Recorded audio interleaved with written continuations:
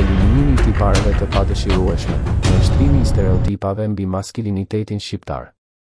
Në një shoqëri ku burreria dhe viriliteti janë shpesh parë si standard për suksesin dhe vlerën e një mashkulli, duket se kanale televizive si Top Channel po përhapin dhe promovojnë këtë kulturë të dëmshme.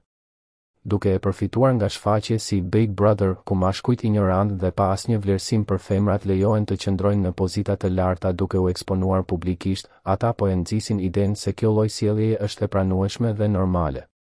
Një prej shembujve më flagrante të kësaj sjelljeje është rasti i Meriton Mjekiqin, i cili në tentativën e tij për të treguar burrerinë e tij, zgjodhi të shfrytëzojë një femër në shfaqjen Big Brother, duke tentuar t'i tregojë asaj organin gjenital duke përhapur mesazhin e një maskilisti të dëmtueshëm dhe një përfaqësim të padëshirueshëm të burrit. Kjo sjellje është e papranueshme dhe e dëmshme për shoqërinë shqiptare. Të gjithë individët, pavarësisht gjinisë, duhet të trajtohen me respekt dhe dinjitet. Nuk ka vend për diskriminim, urrejtje, apo shfaqje të tilla të një burrerie të çmendur dhe të dëmshme. Si një shoqëri, duhet të kundërshtojmë këto sjellje dhe të punojmë drejt ndryshimeve të mëdha në kulturën tonë të mediave. Televizioni duhet të shërbejë si një mjet për të nxitur arsimin, kulturën dhe respektin ndaj njëri-tjetrit. Kjo përfshin edhe fshirjen e shfaqjeve që promovojnë sjellje të papranueshme dhe stereotipe të padëshirueshme. Mashkujt shqiptarë, si të gjithë individët, kanë vlerë dhe potencial për të sjellë ndryshime pozitive në shoqërinë tonë.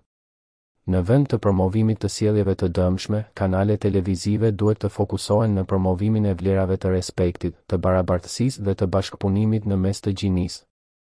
Vetëm në këtë mënyrë mund të ndërtojmë një shoqëri më të drejtë dhe më të barabartë për të gjithë. Meriton Mjekiqi nuk meriton vetëm të largohet nga shtëpia e Big Brother VIP Albania, por edhe nga çdo lloj platforme e mundshme.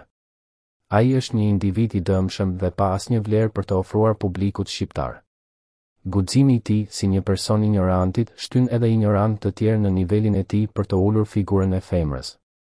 Ka ardhur koha të japim fund këtyre burrcërve që ecin nën petkun e burrit që promovojnë sjellje të padrejtë dhe të pakuptimtë ndaj grave dhe të ofrojmë vlera të vërteta televizive dhe edukuese për popullatën shqiptarfolëse.